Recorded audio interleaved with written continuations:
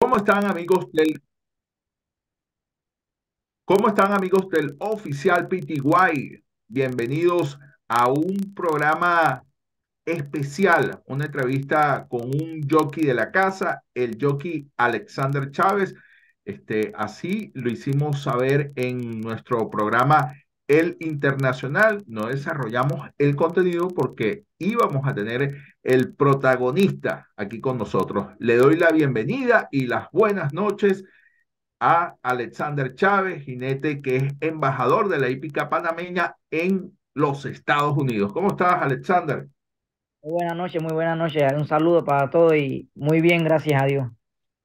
Eso nos contenta, nos alegra. ¿Estás contento? Cuéntanos, ¿por qué estás contento? Es que es una emoción grande, ganarse una estadística no es fácil de tantos compañeros que, y, y en, la, en el hipódromo que es, o sea que en todos los hipódromos son duros y, y ganando y, y con tan, pro, con tan poco tiempo ganamos una estadística fue algo difícil para mí porque la competencia estaba durísima. Eh, los jockeys montan duro también. Alexander, fíjate una, una cuestión antes de desarrollar un poco, que nos comentes y nos des los detalles de lo que fue este meeting de Plyston. Este, allí donde tú estás, montó un jockey llamado Russell Base que es el jockey con más triunfos de todos los Estados Unidos y es el segundo jockey con más triunfos en toda la épica del mundo. Entonces, este, Russell, bueno, este, fue ganador de miles de estadísticas en, todos los circuitos de, de California Norte, eh, Golden Gate Fields, este, Stockton, eh, este, de verdad, un, un jockey referencia. Que tú hayas ganado nos da buenas señales. Háblanos de eso. Bueno, eh, como lo digo, es muy lindo. La, la, fanaticada y las personas también que me apoyaron demasiado, los entrenadores cogieron confianza rápido en mí, en que al, principio fue un poquito duro, me costó porque eh, sinceramente estaba llegando nuevo, y tenía que hacer el doble esfuerzo de todos los otros para poder ganarle con caballos que no tenían chance supuestamente. Y eso también siento que me ayudó mucho en, en mi, en, en, poder lograr la, la, estadística para el siguiente meeting, porque en Golden Gate hice buena campaña y también to, eh, tomé muchos días por, por, por torear, querer ganar de, de impulsivo y, y, me llevaba a los otros compañeros toreando y, y se me hizo duro. Aquí este, manejamos la información que naciste en Ciudad de Panamá el 10 de noviembre de 1998. A la fecha de este lunes 10 de julio tienes 328 montas, 81 primeros, una producción que llega al millón 64 mil 63 dólares, pero ya eres campeón de un meeting, estás en un meeting de una hípica que eh, eh, los latinos pudiéramos decir B, este, no se debe menospreciar porque en California Norte también han pasado cosas muy importantes, muy valiosos eh, a través de su historia. Hay panameños que, que te son referencia, Armando Ayuso, Fran Alvarado, y ¿qué nos puede decir de ese calor panameño allá en, en esa zona de California?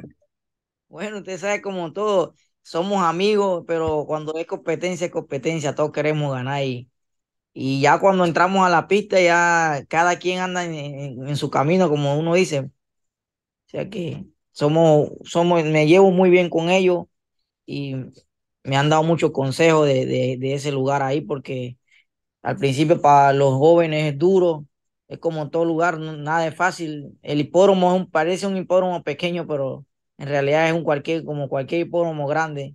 Si no hay el chance, no se gana carrera.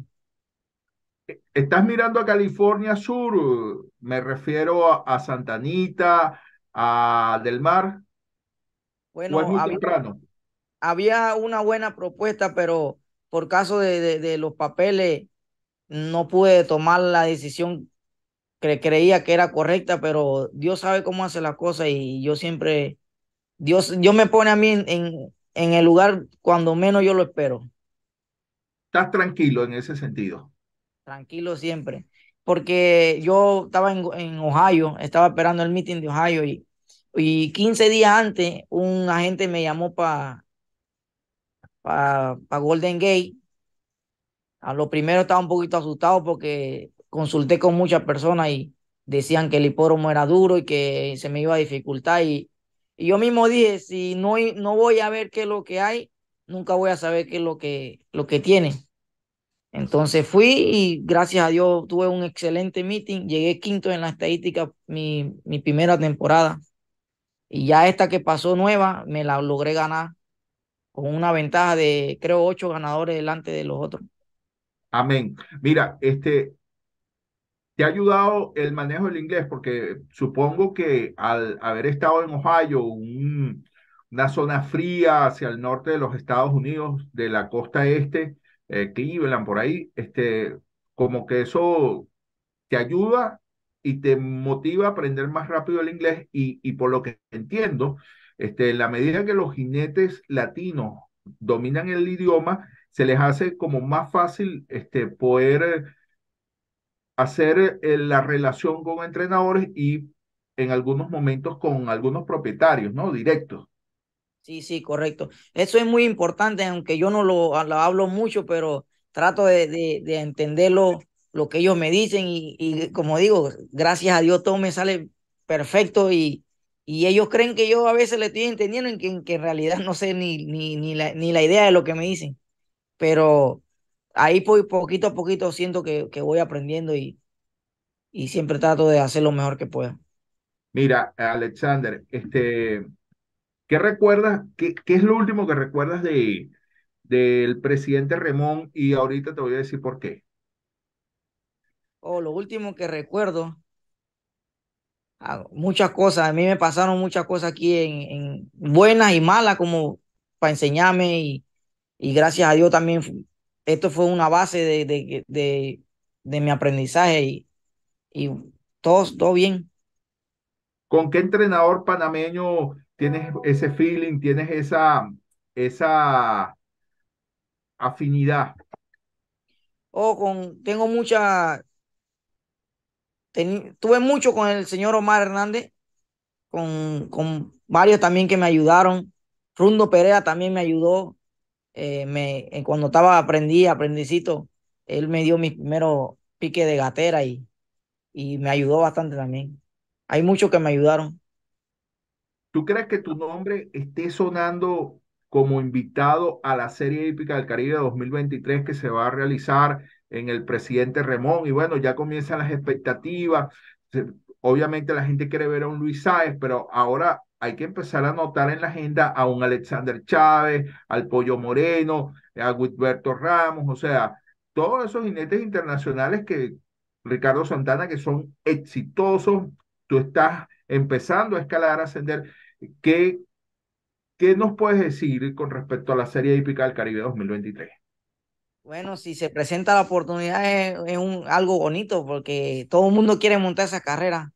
Ahí todo, todo jinete, porque de tantos jinetes que hay, si te cogen a ti hay que darse el chance porque no se sabe si se puede ganar ese día y es una carrera importante. Pero estás abierto. Sí. ¿Y qué caballo, este, a qué corral le, te gustaría montarle si, si se diera esa oportunidad?